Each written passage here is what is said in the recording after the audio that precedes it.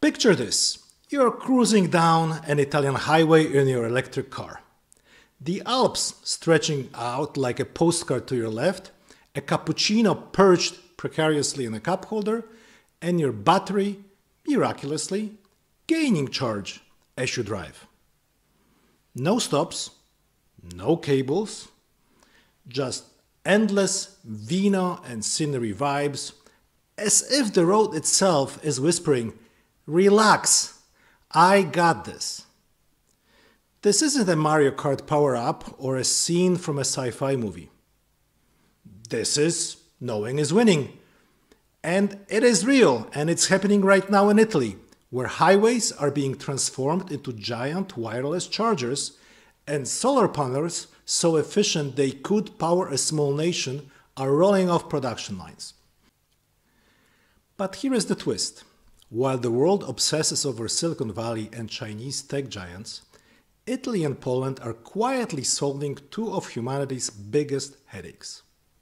How to keep electric cars charged and how to power them without burning the planet to the crisp. Okay, okay, okay. My Italian friends, I got a lot of um, feedback after my coffee videos uh, from all my Italian friends. Uh, nobody writes comments anymore, but I got a direct and very honest um, emails and, um, and suggestions. I'm not saying that Italy is not doing anything inventive. I'm saying that what Italy does is not as well known anymore. So, here, let's come back to electric cars for a moment. Let's start with the elephant in the room range anxiety. You know the feeling. You're white knuckling the steering wheel, watching the battery percentage drop like a bad TikTok trend, desperately calculating whether you will make it to the next charging station before your car becomes a very expensive paperweight. And when you finally find a charger, it's either broken, occupied by someone who seems to be charging their entire household appliances, or worse still, powered by coal. It's like buying a salad and drowning it in a ranch dressing. Enter Italy, a country better known for espresso and Renaissance art than cutting edge tech, uh, with a solution so elegant it's almost poetic. Highways that charge your car as you drive. In the quiet outskirts of Brescia, nestled between Milan and the Alpine foothills, lies the Arena del Futuro, a one kilometer stretch of highway that looks like any other except for the fact that it's hiding a secret under its asphalt. Buried beneath the road are copper coils, part of the system called Dynamic Wireless Power Transfer, developed by an Israeli company called Electreon. These coils use magnetic induction to send electricity directly to a receiver on the underside of your car, juicing up your battery while you cruise. Imagine your phone charging pad, but scaled up to a two ton SUV and capable of powering a bus for three days straight without a single plug-in. In fact, Stellantis, the automotive giant behind brands like uh, Fiat and Jeep, tested this very system with an electric bus that drove continuously, finishing with more charge than it started with. The driver presumably spent those three days binge eating casoncelli alla bresciana, the local pasta specialty. But here is the kicker. Where does all that electricity come from? You can't just magic megawatts out of thin air, right? Enter perovskite, the Taylor Swift of solar materials. Flexible, cheap, and so efficient it could make silicon panels blush. Over in Poland, a PhD student named Olga Malinkiewicz was tinkering with perovskite in her lab and figured out how to print it using inkjet printers. Yes, inkjet printers. But what is perovskite? Perovskite is a calcium titanium oxide mineral with a distinctive crystal structure that has inspired a whole class of synthetic materials known as perovskite structure compounds. These materials are incredibly versatile and are being explored for applications in solar cells, superconductors, LEDs, and even quantum computing. One of the hottest applications of perovskites is in the solar cells. Perovskite solar cells are rapidly improving, reaching certified efficiency up to 26% for single junction devices, while perovskite silicon tandem cells have achieved efficiencies exceeding even 34%. They are cheaper and easier to manufacture, especially with companies scaling production capabilities and demonstrating integration of nanoparticles to enhance stability. In the meantime, uh, back in Poland, Olga hit some snags with her financial investors. But isn't it the perennial struggle, the idea man or woman against the money people who want to squeeze profit out of a prune if possible? Now, however, all of that made uh, everyone notice the physics department of Warsaw University, one of the quantum slash perovskite global centers, where scientists break new barriers every day. Let's go worldwide to see what's happening out there with perovskite. Researchers and developers are exploring perovskite technology for applications far beyond traditional solar panels.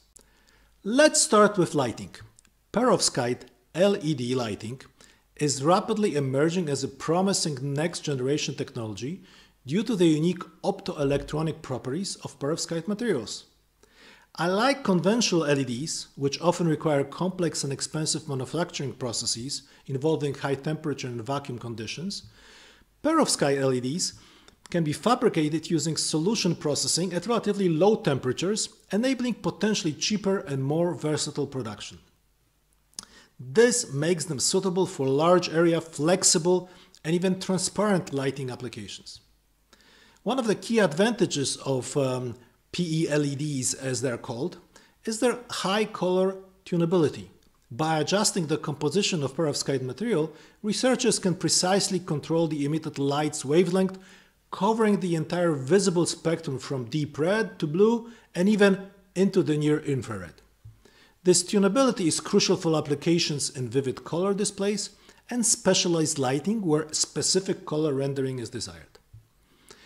Recent breakthroughs have addressed long-standing challenges related to efficiency and brightness, yet the results are very promising.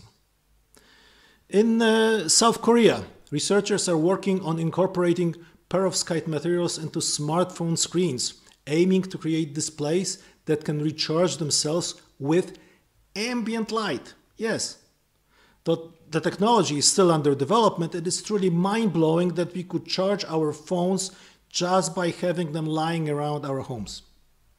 Then there is the AI revolution in perovskite design with AI-driven materials discovery platforms, eh, including those developed, accelerating the identification of novel perovskite compositions with improved stability and optoelectronic properties. While research into the thermoelectric perovskites for waste heat recovery is ongoing and remains in the experimental stage, it looks very promising especially when you look at architecture. Architecture is also getting a shake-up with development of perovskite-based semi-transparent solar cells that are being created for integration into architectural glass, offering the potential to generate electricity while preserving aesthetics. There is a research being made for pilot projects to assess their suitability for heritage buildings like cathedrals aiming to reduce lighting energy consumption without compromising design integrity. Of course, challenges remain. Scaling these innovations demands solving perovskite's Achilles heel longevity under real world chaos. While solar panels now tout 25 year warranties, perovskite LEDs and water harvesters are still in their infancy. Yet, with billions flowing into R&D from both governments and crypto billionaires, the pace is frantic. So, the next time you sip a coffee under a perovskite lit cafe awning or charge your phone with a glowing window, remember, we are not just tweaking under solar panels anymore. Perovskites are becoming the Swiss or you know, Helvetic army knife of material science versatile, unexpected, and quietly rewriting the rules of energy, design, and human ingenuity. Now, let's go back to Italy and Poland and connect the dots. Imagine Italy's wireless highways lined with perovskite solar panels. Each coil under the road fed by sunlight harvesting ribbons embedded in the asphalt. No fossil fuels, no charging stops. Just endless sun-powered joyrides through Tuscan vineyards or along the Amalfi coast. And because perovskite works indoors, your future office building might double as a power plant, its windows humming with invisible energy. The world is brimming with unsung innovations, but the Italy and Poland's combo of wireless charging and perovskite solar feels like a masterclass in solving multiple problems at once. But the perovskite solar technology is making remarkable strides in 2025 with several breakthroughs that are pushing efficiency, durability, and manufacturability to new heights, promising to revolutionize the solar energy landscape. Um, as a matter of fact, uh, one of the most exciting developments um, is the integration of nanoparticles into perovskite cells, a technique pioneered by researchers at the University of Surrey in the UK. By embedding the tiny aluminum oxide nanoparticles within the perovskite layer, they have significantly improved the cell stability, allowing them to maintain high performance for over 1530 hours under harsh conditions of heat and humidity, nearly 10 times longer than previous models. This advancement uh, addresses one of the biggest hurdles for perovskite solar cells, the rapid degradation due to moisture and chemical instability, which previously limited their practical use. So next time you're stuck at the charging station sweating over your dwindling battery, remember, the future is already here. It's just unevenly distributed. These technologies aren't just about convenience, they're about reimagining infrastructure in a way that's as elegant as a Fellini film. Because why settle for incremental progress when you can have a revolution powered by pasta, pierogi, and perovskite? The future isn't just coming, it's being paved quite literally under the wheels of an electric Fiat somewhere on a highway near Brescia. And with that optimistic accent, thank you very much for watching Knowing is Winning. Subscribe for more underdog tech stories that don't involve billionaires sending their girlfriends into outer space. Thank you very much.